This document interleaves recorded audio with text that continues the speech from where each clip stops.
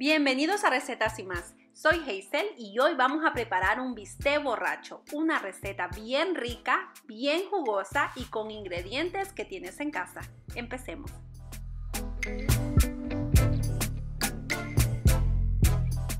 Para hacer esta receta vamos a utilizar 2 libras de carne para desmenuzar. Desmenuzar también se le llama deshebrar y esta carne es la que también es conocida como falda es la parte que está ubicada en abajo del costillal de la vaca. Pero también puedes hacer esta receta con lomo de res o con posta de res. Puedes usar diezmillo, puedes usar incluso bola negra. Vamos a utilizar media cucharadita de pimienta negra molida para empezar a marinarla. Agregaremos una cucharadita y media de sal, tres dientes de ajos bien picaditos, lo más picadito que puedas.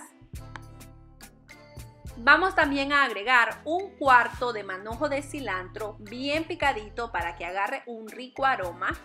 Y no te preocupes que el cilantro no se va a ver al final.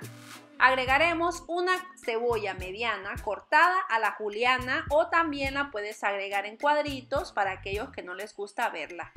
Y el ingrediente principal una cerveza de 12 onzas. Yo estoy utilizando de lata. La verdad es que no importa. Incluso puedes utilizar cerveza sin alcohol y te queda riquísimo. En este caso yo estoy utilizando la cerveza con alcohol y no te preocupes que el alcohol se disipa y puedes darle esta receta a tus niños.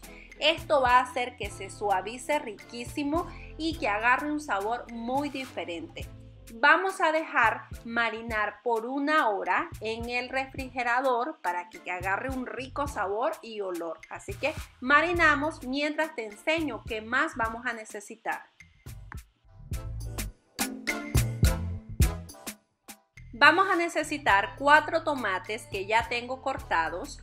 Utilizaremos chile al gusto, en este caso yo tengo cuatro chiles bien pequeños y bien cortados y una taza de consomé de res. Aquí lo que hice es que agarré una taza de agua, le agregué una cucharadita de consomé de res en polvo y listo.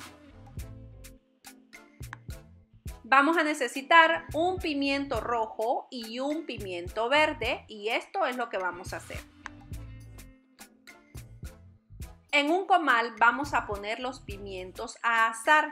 Esto va a ayudar a que agarre un aroma bien rico y también de que le podamos quitar la piel y utilizar solo la parte de adentro.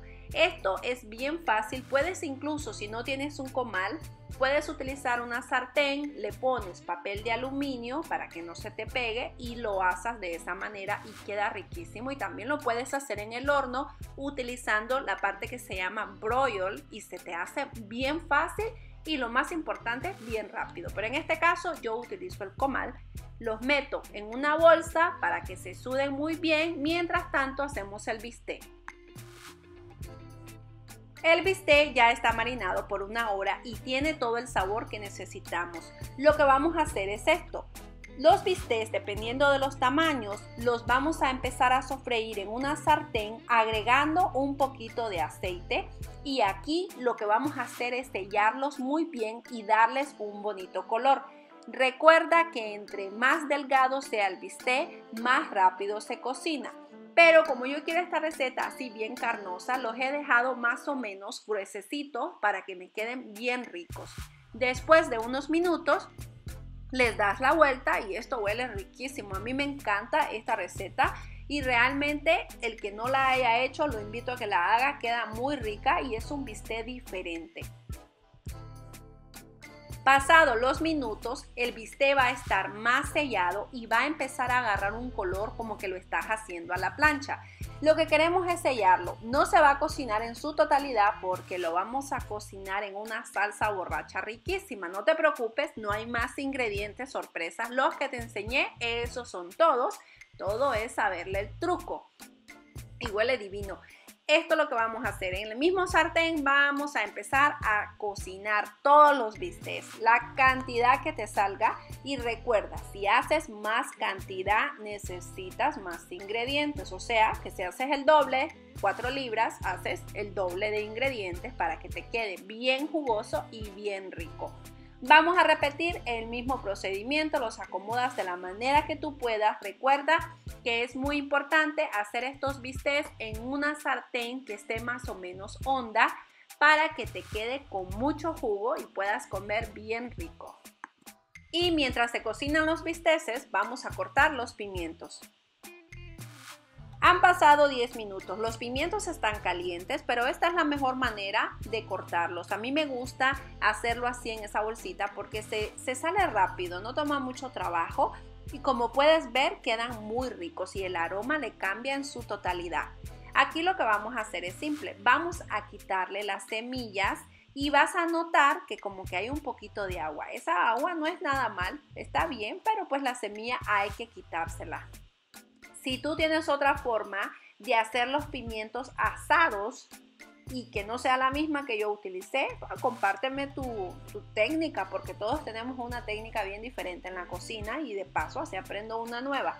Lo vamos a cortar en rajitas de esta manera. Como puedes ver ya están suaves, están bien cocinados y sin la piel quedan preciosos. Y los bisteces obviamente ya están ricos, están cocinados, los vamos a ir sacando dependiendo de los que vayan agarrando el color. A mí me gusta que el bistec agarre un color así como a la plancha porque siento como que queda con más sabor. A mí no me gusta la carne cruda, rara vez como una carne término medio, pero pues yo respeto los gustos de todos, ¿verdad? Porque todos tenemos diferentes gustos. Pero en este caso, como es bistec en salsa borracha, lo voy a dejar bien cocinado y lo más importante, voy a tratar de que todos queden con el mismo color para que a la hora de servir todos se vean bonitos. Y mira, tienen que quedar así. Si haces esta receta, regresa y me cuentas cómo te quedó. Seguro te va a gustar mucho. Mira qué belleza. Estos bisteces los vamos a reservar y en la misma sartén vamos a hacer la salsa borracha. En la sartén vamos a agregar los tomates. Aquí no necesitas agregar nada de aceite. Agregaremos los tomates y los vamos a sofreír. Aquí está todo el sabor de la carne. No necesitas aceite porque recuerda que la carne suelta su grasita y esta es la misma que vamos a utilizar. Agregaremos todo lo que le agregamos a la carne para marinar y con esto queda riquísimo. Es muy importante que recuerdes que la cebolla que yo utilicé es mediana para que te queden las mismas cantidades y este bistec te quede igualito. Vamos a mezclar todos los ingredientes y aquí mismo vamos a agregar el consomé de res. Recuerda que el consomé de res que yo estoy utilizando es en polvo, pero si tú prefieres utilizar de marca, pues perfecto, puedes usar el de marca. Recuerda que a una taza le agregué una cucharadita. Aquí mismo vamos a agregar el chile y este es opcional, si no te gusta el picante no necesitas hacerlo. Vamos a mezclar muy bien todos los ingredientes. Y para los que son amantes de la carne de res y les gusta probar todo tipo de bisteces, les voy a dejar la receta al final de este video de cómo hacer bistec en salsa chimichurri, en salsa jalapeña, en salsa ají colombiana. Y bueno, ya aquí con la taza de consomé de res lo que voy a hacer es mezclar y aquí mismo voy a empezar a poner lo que es la carne. Estos bistecs quedan divinos, pero recuerda que necesitamos la salsa y necesitamos que estén 100% cocinados por dentro para que queden bien suavecitos. Yo estoy utilizando todas las piezas de una sola vez. Aquí mismo lo que voy a hacer es cocinarlos a fuego medio. Es muy importante la temperatura para que no se te sequen. Y mira, lo que queda en el plato lo vuelves a agregar porque ahí hay muchísimo sabor. Vamos a agregar los pimientos. Y recuerda, si quieres agregar más pimiento lo puedes hacer perfectamente. Yo te estoy agregando las cantidades porque estoy utilizando 2 libras de carne de res y por eso estoy agregando estas cantidades. Pero claro, si te gusta más salsa y más juguito, agrégale más. A la misma tacita donde tenía el consomé de res, ahí mismo le agrego agua y lo agregamos y de esa manera no perdemos nada. Tapamos y dejamos cocinar a fuego medio por 45 minutos. Y después de 45 minutos, el bistec borracho tiene que lucir de esta manera. Jugoso, más cocinado y como puedes ver, ha sacado una grasita riquísima. Esa grasita que estás viendo es de la carne porque realmente no utilizamos mucho aceite. Y mira, se sale solito, quedó, como dice, bien suave y borracho. Así que vamos a dejar enfriar y nos vamos a servir.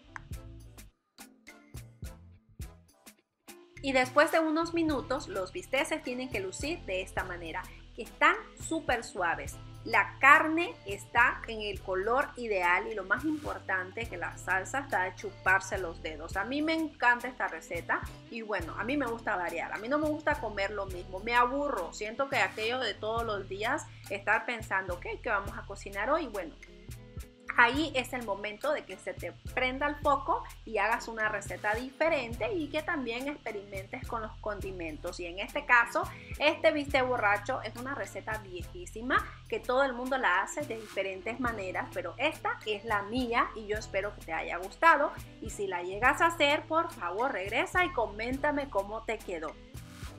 Obviamente yo me voy a servir de una manera pues bien bondadosa porque pues a mí sí me gusta la carne de res y si es en bistec jugoso aún mejor. Así que yo la voy a acompañar de una manera bien sencilla. Yo, a mí me encanta con el arroz. ¿Y por qué? Porque tiene juguito. Que la comida con jugo es divina. Y bueno, el aguacate que no puede faltar. Y bueno, también unas tortillitas no deberían de faltar.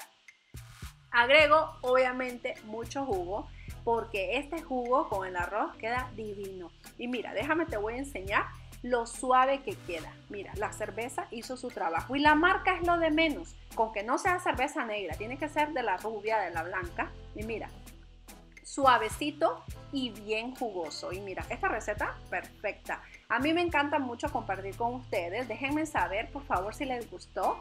Regálame un like si te gustó, déjame un comentario. Y bueno, ¿Cómo te lo comes con la salsita y el arroz? Mira qué cosa más rica. Ya tú le agregas a lo que quieras a tu gusto, una ensalada, unos patacones, tajadas, lo que tú gustes. Espero te haya gustado la receta. Yo me voy a despedir de ti, deseándote un bello día y que Dios te bendiga. Chao.